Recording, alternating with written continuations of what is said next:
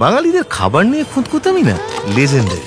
ইনি খাবেন ঝালমুড়ি কিন্তু এনার মুখের ঝাল ঝালমুড়ির থেকেও বেশি। এটা কি? ঝালমুড়ি? না বুড়ি ধরতরি একটু মুচমুচে দেখে দাও। রোববার মানেই মাংস ভাত কিন্তু দাদুর মুখে মাংস দেখে হাসি নেই কেন? কষা মাংসটা একেবারে লিকের জলের মতো টলটলে বানালি। শ্যামবাজারের ট্রাফিকের মতো একটু থকথকে হওয়া উচিত ছিল। মাছের বাজারে বাবু হাতে নিয়ে পেটটা এমন ভাবে টিপছেন যেন সাক্ষাৎ মাছের ডাক্তার। এটা ইলিশ না বালিশ?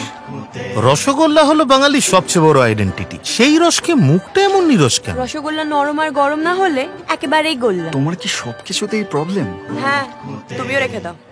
তাহলে চা কেনার সময় এই খুঁতখুতামি তো আলবাত থাকবে। ফ্লেভারটা কোথায়? বাগানে যেতে হবে নাকি?